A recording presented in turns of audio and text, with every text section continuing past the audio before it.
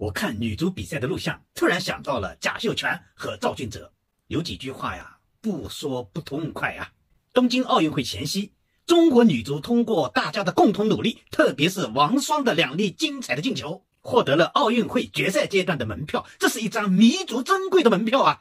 可是贾秀全就提出来了，中国女足这几年的实力一直在下降，跟强队之间的差距越拉越大，我们是战胜不了小组内的任何一个对手的。于是他提出了一个叫做“种树论”和“练兵论”，意思是现有的这些队员还不能够担当大任，我要招一些新的苗子到奥运会种下去，慢慢的培养长大。那么这样呢，通过几代人的努力，中国女足可以慢慢的复苏。这么荒谬的思路提出来以后，居然没有一个领导去阻止他。于是贾秀全就开始对那些正处于巅峰状态的老将下手啊。丢弃了娄佳慧、唐佳丽、姚维、马军等等一大批正值当打之年的有功之臣啊，带了一大群新兵蛋子练兵去了。正是在这种指导思想下，所以中国女足打出了奥运会的最差的耻辱记录。回来以后，当然只能下课呀，下课就出来一个女足主教练的竞聘，竞聘当中出来一个很奇怪的人，那就是小赵同志。小赵同志是最好玩的一个人。他洋洋洒洒地分析了我们女足的现状，说已经找到了问题的根本。这个根本的问题是什么呢？他说是中国女足前锋队员进球太多。我第一时间就进行了驳斥。一支足球队前锋队员就是去攻击人家球门的，进球是他的任务，也是他的天职啊。前锋队员进球都怎么了？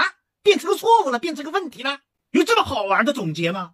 小赵同志还进一步总结说，中国女足也需要经过好几代人的努力。他跟贾秀全的想法是一模一样的，提出了那句著名的口号，叫“久久为功”。什么意思？就是要时间长一点，再长一点，好长好长的时间，才能够有所进步，有点成效啊。他进一步说，功成不必在我。我当时就给他解释了这句话的意思，就是我在必不成功。你小赵这样的想法，你如果在女足，女足是一定不成功的。说实话，当时我是非常担心这样的人来做中国女足的主教练啊！这也是我们广大的球迷朋友力挺水庆霞、陈婉婷的根本原因。我们实在不希望中国女足被这样的一些人活活了呀！老贾和小赵都认为要几代人的努力，女足才可以慢慢复苏。现在水庆霞带着中国女足，仅仅是两三个月的时间，就捧回了亚洲杯这么大的一个杯子，这个杯子而且是金色的。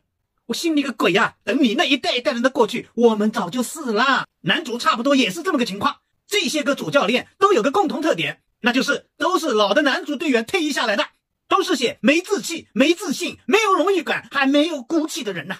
今天回头想想，我们非常感谢体育总局及时出手，帮我们千万球迷选定了水庆霞担任女足的主教练啊！我早就说过了，水庆霞是为女足而生的主教练啊！选对了主教练，我们的女足即刻腾飞呀！我现在比较奇怪的是，女足取得了这么大的荣誉，贾秀全是怎么想的？小赵同志是怎么想的？怎么也不出来说一句呢？哪怕是祝贺一下也好啊！